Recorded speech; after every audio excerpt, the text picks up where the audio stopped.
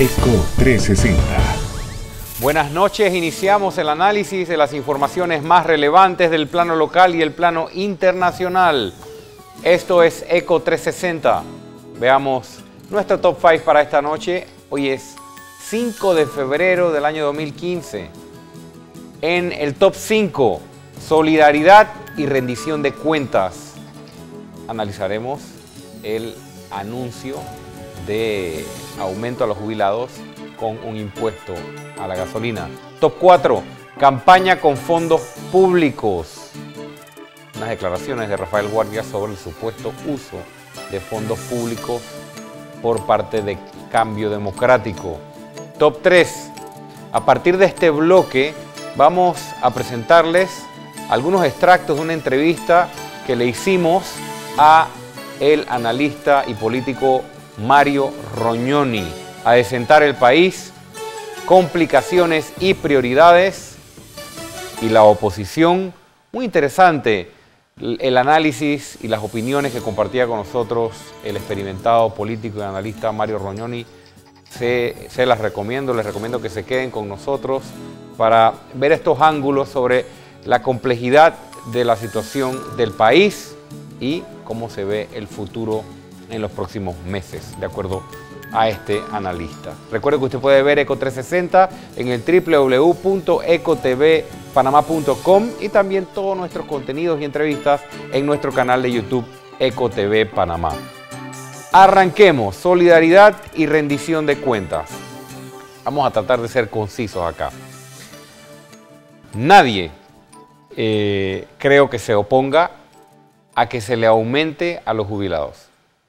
Yo creo que la discusión que hemos tenido en el país el día de hoy ha dejado claro que la oposición o la enorme oposición a la medida tiene mucho más que ver con el impuesto a la gasolina, que es donde se van a sacar los fondos para este aumento, que al merecido aumento a los jubilados.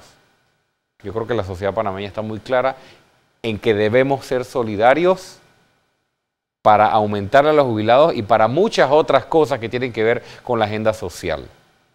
La solidaridad, según la Real Academia de la Lengua, es la adhesión circunstancial a la causa o la empresa de otros. En este caso, la solidaridad es la adhesión a la causa de los jubilados.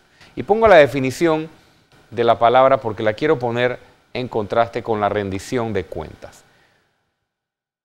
Nadie está contra el aumento de los jubilados, pero se prometió en campaña que no se aumentarían los impuestos y no ha pasado, no estamos ni en los 10 meses de gobierno y vemos una clara contradicción entre lo prometido y lo que se está proponiendo. Y digo proponiendo porque esta es una medida que todavía le falta recorrer el trámite por la Asamblea Nacional y posiblemente no llegue a su destino por las reacciones que han surgido.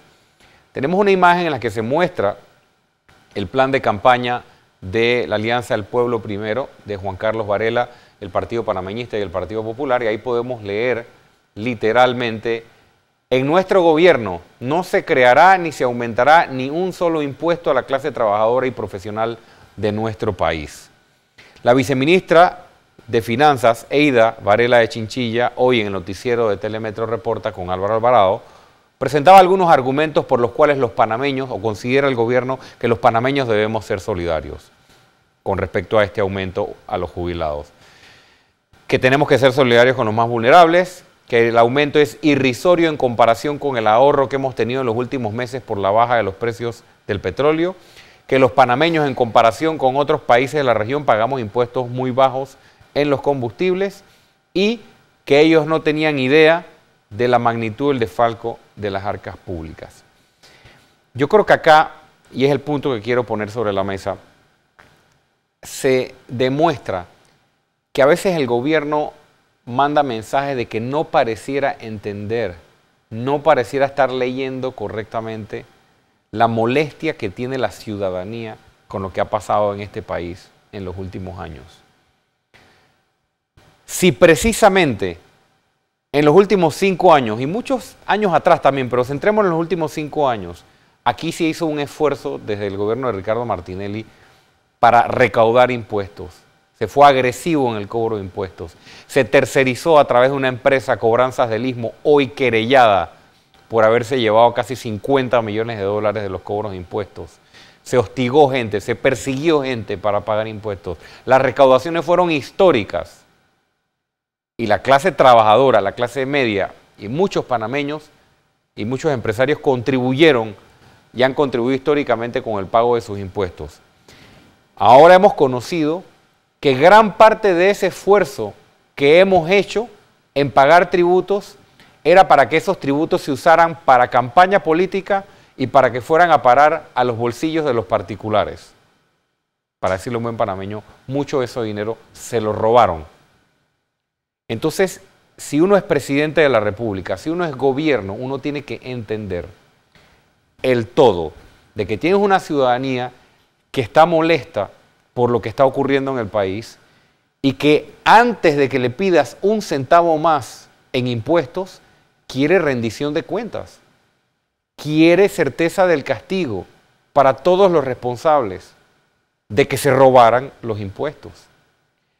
Quiere un compromiso del gobierno actual tangible, muestras tangibles de que hay un manejo responsable de los dineros y que las cosas van a cambiar. La planilla estatal desde que el presidente Varela asumió el poder no ha disminuido, ha aumentado. En diciembre se aprobaron bonos navideños para diputados, que aunque se decía que era menos, dineros que no se necesitaban destinar a eso. El PAN sigue abierto con presupuesto y con planilla. Hace poco conocimos de la aprobación de 74 millones de dólares para las juntas comunales y los municipios en esta administración y no estamos cuestionando que se hagan esas obras, estamos cuestionando que fue, por ejemplo, precisamente a través de esas juntas comunales que se hicieron los negocios y se robaron mucho de nuestros dineros. Y antes de nosotros conocer los auditos y tener la rendición de cuentas, entonces nos exigen volver a meternos las manos en el bolsillo. Eso es lo que el gobierno tiene que entender antes de anunciar o tomar decisiones tan desatinadas como estas. Es un principio básico.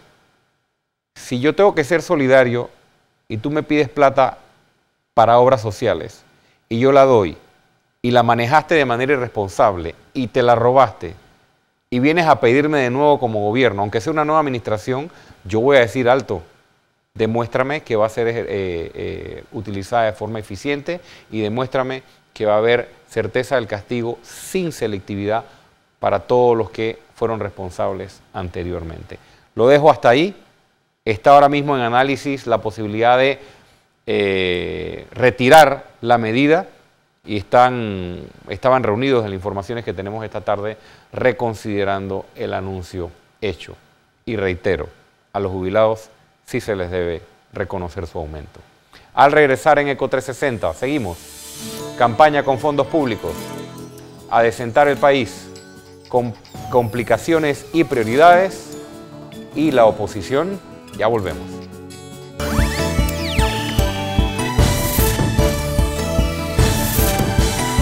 ECO 360